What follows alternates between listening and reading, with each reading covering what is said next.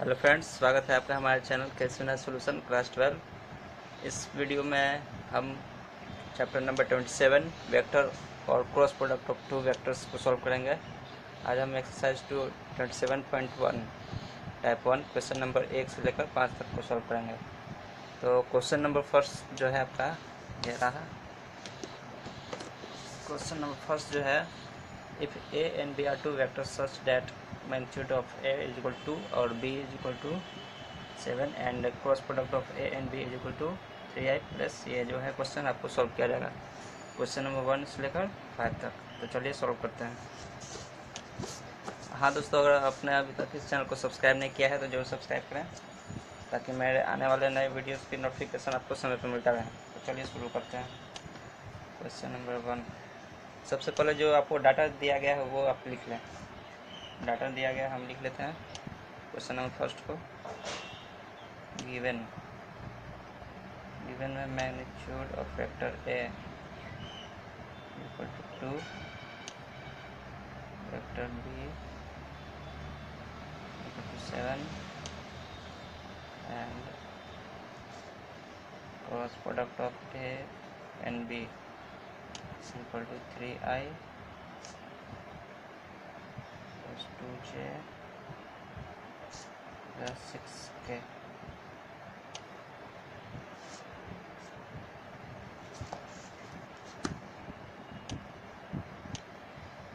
चूँकि जो दिया गया है cross product A cross B is equal to three i plus two j plus six k इसलिए हम इसका मैग्नीट्यूड निकालते हैं क्रॉस प्रोडक्ट होते हैं एंड बी का। ये हो जाएगा under root three square plus two square plus six square is equal to under root forty nine is equal to seven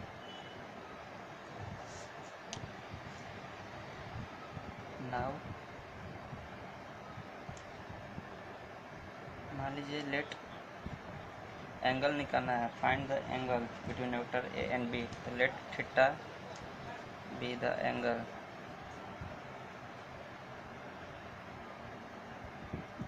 between vector A and vector B. Now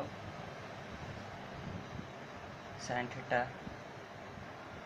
Equal to आप जानते हैं कि होता है magnitude of vector cross product A B upon magnitude of vector A magnitude of vector B equal to seven by man एक vector ए का magnitude two और B का मैग्नीट्यूड सेवन तो यहाँ बचता है वन बाई टू तो sine theta equal to one by two जो कि होता है आपका sine theta equal to sine five by six. इसलिए थीटा जो है उस दोनों से साइन हटाने पर तो theta is equal to five by six. ये जो है, ये आपका आंसर है। Hence the angle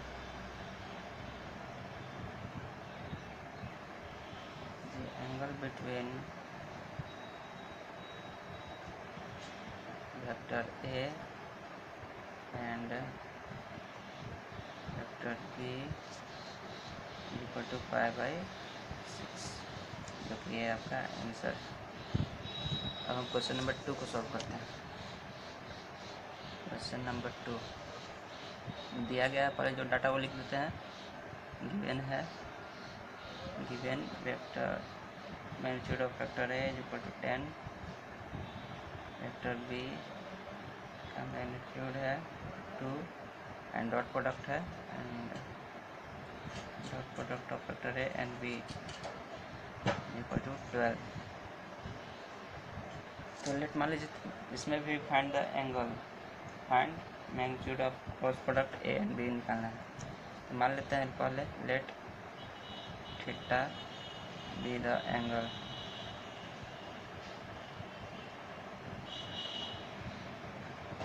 between vector A and B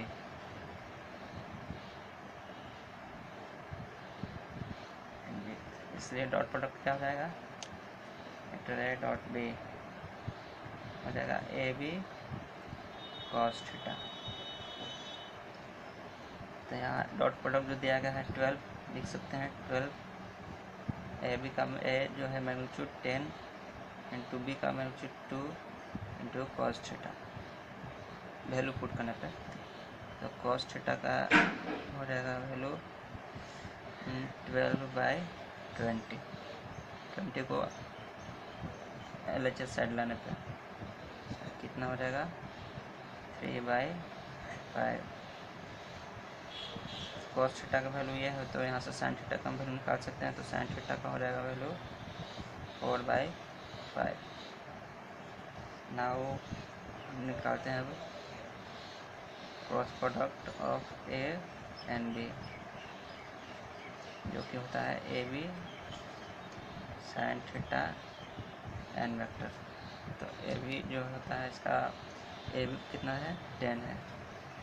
ten B का मैग्नीट्यूड टू साइन थीटा का three by five n vector यहाँ कितना होगा इसका? Sixteen n vector cross B sixteen इसका मैग्नीट्यूड निकालना है। तो ए क्रॉस बी का मैग्नीट्यूड जो होगा वो सोलह हो जाएगा जो कि आपका आंसर अब हम दोस्तों क्वेश्चन नंबर थ्री को सॉल्व करेंगे. क्वेश्चन नंबर थ्री जो है आपका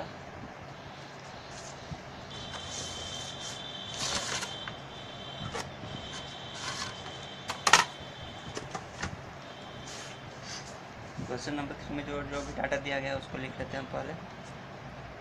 क्वेश्चन नंबर थ्री जो है just minute question number three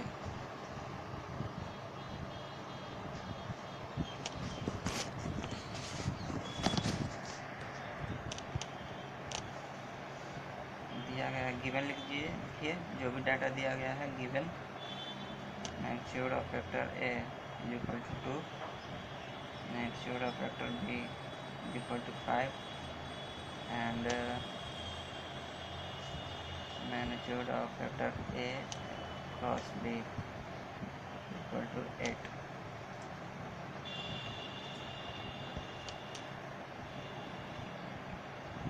मान लीजिए let theta be the angle question number three में जो है आपका find the angle between vector A and B and and also find the magnitude of vector A cross B let theta be the angle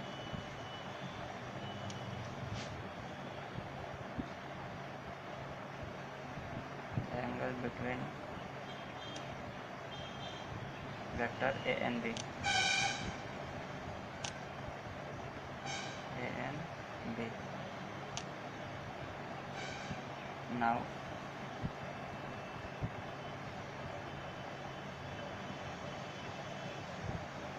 Magnitude of vector A cross B क्या होता है? Magnitude of vector A into magnitude of vector B sine theta, जो कि दिया गया है आठ आठ का बराबर लिख सकते हैं। यहाँ से हम साइन थीटा को वैल्यू कैसे निकाल सकते हैं तो साइन थीटा इक्वल टू हो जाएगा eight by vector A vector B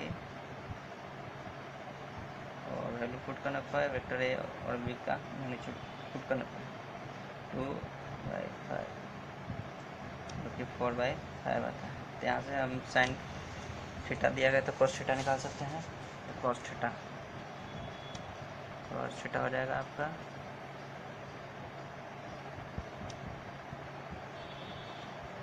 cos theta हो जाएगा थ्री बाई फाइव ये तो आप जानते हैं कैसे निकला। तो आगे सॉल्व करते हैं फर्दर इसलिए dot product of find the angle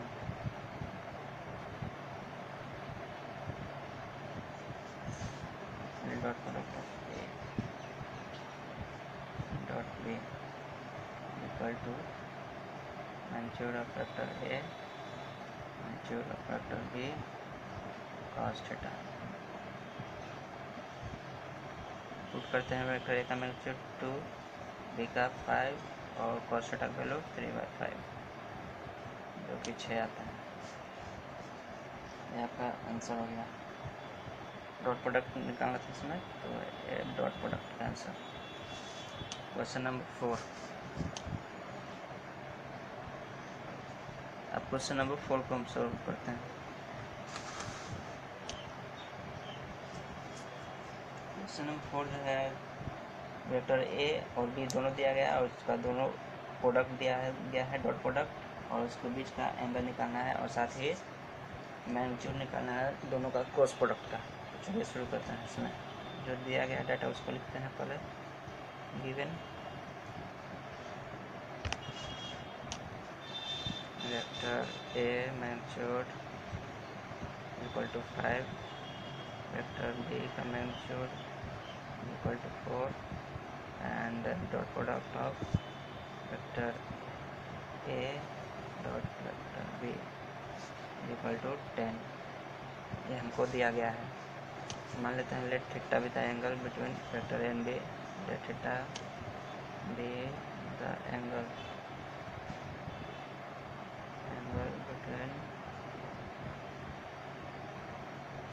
vector A and B now dot क्या हो जाएगा A dot B equal to हो जाएगा था ए बी कॉस थीटा तो यहाँ डॉट प्रोडक्ट दिया गया है ten A B just a minute hello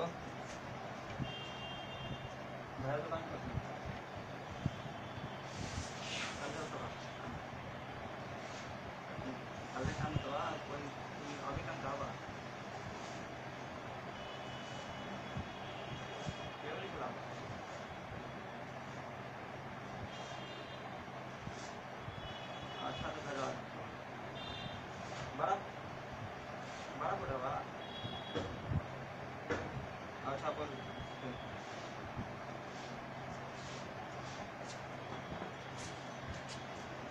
तो हमारा दिया गया है डॉट प्रोडक्ट ए और बी टेन ए बी का मैग्नीट्यूड फाइव बी का फोर कॉस्टा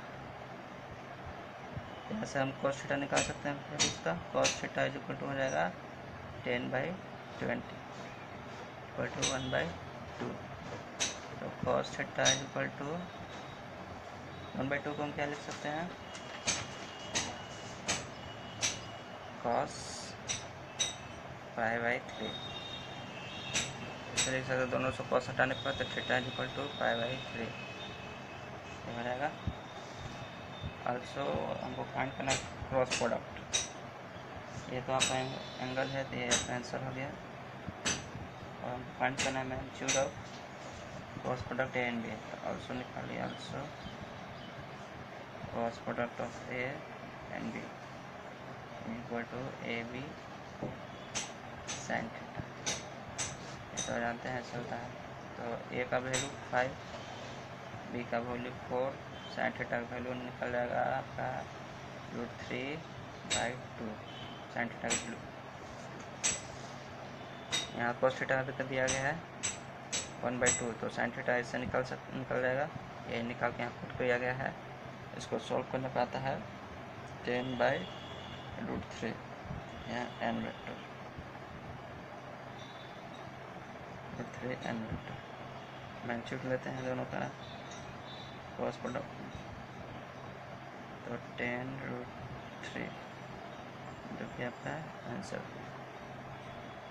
चलिए अब हम क्वेश्चन नंबर फाइव को सॉल्व करते हैं। Question number five.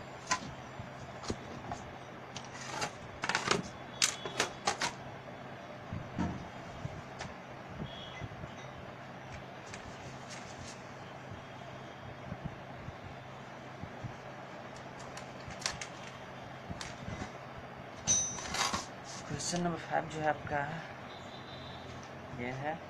कि A B C are three vector such that A cross B is equal to vector C B cross C is equal to vector A then prove करना है कि vector A B and C are mutually at right angle and magnitude of vector A is equal to one and vector A is equal to vector C चलिए solve करते हैं उसको। दिया गया पर जो भी डाटा है वो लिख देते हैं कि जो दिया गया है। दिया गया है कि vector A cross vector B equal to vector C और है vector B cross vector C C जो है वेक्टर ए के बराबर। Now magnitude of vector A cross vector B magnitude लेने पे vector C vector B cross vector का magnitude ले रहे हैं। जो कि वेक्टर ए के बराबर हो जाएगा। इसका मैग्नीट्यूड लिया जाएगा। जानते हैं।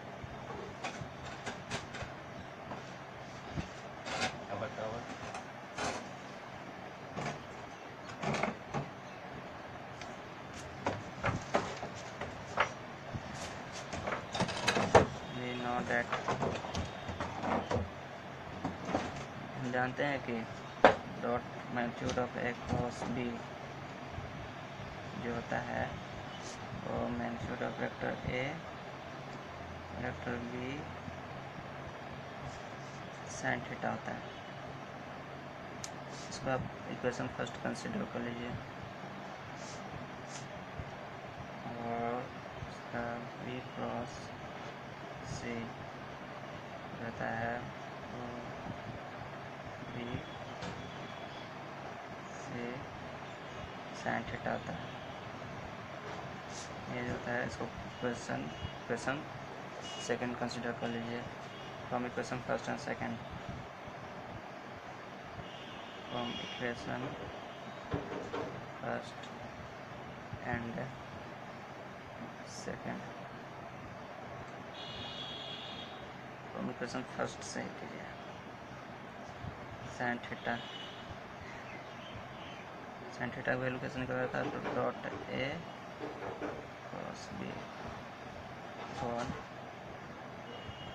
इस लाने वैल्यू करने के लिए ये पार्ट जो है इस साइड आ जाएगा तो magnitude of vector A vector B ये तो आप समझ गए कैसे वैल्यू निकाल गया है। फ्रॉम इक्वेशन फ़र्स्ट है फ्रॉम इक्वेशन टू आप इक्वेशन इसको थर्ड कंसिडर कर लीजिए। फ्रॉम इक्वेशन टू यहाँ से भी साइन थीटा वैल्यू निकालते हैं।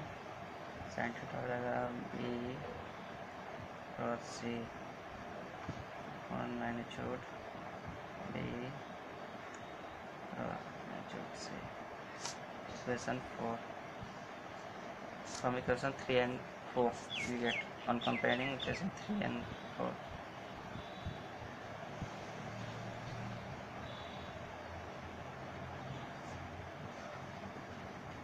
section 3 and 4 we get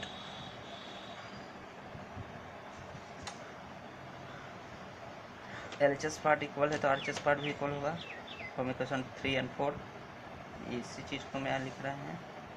A cross B upon magnitude of vector A vector B equal to vector p plus vector vector b vector c अब यहाँ पे देखा जाए तो वेक्टर ए क्रॉस बी जो है क्वेश्चन में दिया गया है कि जो वेक्टर सी के इक्वल है। वेक्टर सी के इक्वल है। Vector A cross B vector C के और वेक्टर बी क्रॉस सी जो है, वेक्टर ए के इक्वल है। इसी को पुट करने पे, इसके स्थान पर vector A cross C B के जगह सी वेक्टर रखने पे magnitude equal to vector A, vector B क्योंकि क्वेश्चन में दिया गया है तो मैग्नीट्यूड भी इसका इक्वल होगा वेक्टर ए क्रॉस बी का मैग्नीट्यूड सी के इक्वल होगा। उसी को पुट कर दिया गया है। बी क्रॉस सी जो है वेक्टर ए के बराबर vector A upon vector B vector magnitude of vector C तो हम देखते हैं कि वेक्टर मैग्नीट्यूड ये और ये दोनों इक्वल कैंसिल हो जाते हैं। तो अब क्रॉस मल्टीप्लिकेशन करना C vector magnitude C C square हो जाएगा सी और ये जाएगा इस साइड तो magnitude of vector A square तो दोनों ओर से स्क्वायर को हटाने पर तो magnitude of vector C equal to magnitude of factor A जो कि आपका आंसर क्वेश्चन में कुछ प्रूव करने के लिए दिया गया था। अब उसको ट्राई करते हैं। चूँकि vector magnitude of factor C equal to magnitude of factor A यहाँ पर अगर देखा जाए मैग्नीट्यूड ऑफ़ फैक्टर ए और सी दोनों जब इक्वल हो जाएगा, मान लीजिए फाइव यूनिट ये भी फाइव यूनिट दोनों कैंसिल हो जाएगा तो यहाँ पे एक यूनिट बचेगा, जो कि मैग्नीट्यूड वेक्टर बी का मैग्नीट्यूड को शो करेगा। तो इस प्रकार से हम कह सकते हैं वेक्टर बी का मैग्नीट्यूड जो हो जाएगा, वो ए वन हो जाएगा। Vector B vector B is equal to one ये आपका आंसर हो गया। अब हम देखते हैं कि वेक्टर सी और वेक्टर ए दोनों इक्वल है और वेक्टर बी का मैग्नीट्यूड जो है वन है। तो इस एक कंडीशन होता है कि यह पॉसिबल तभी होता है जब दो, ये तीनों एंगल्स के बीच का जो है एंगल 90 डिग्री होता है। तो इसी चीज़ को हम लिखते हैं। This condition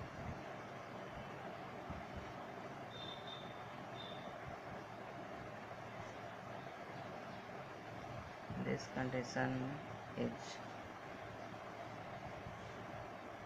possible. Only when only when angle that is theta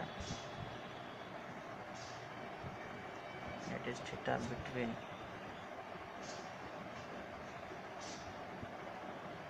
Between the vectors a vector b is 90 degree so इसलिए so this vectors are mutually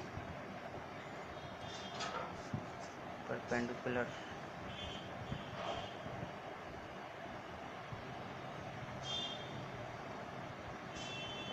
Perpendicular to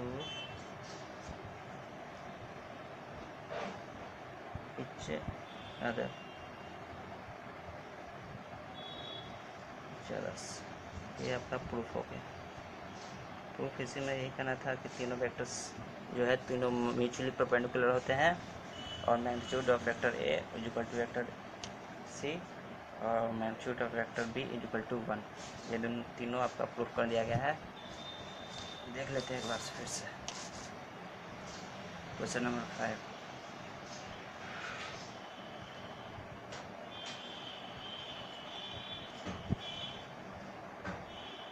thank you दोस्तों धन्यवाद।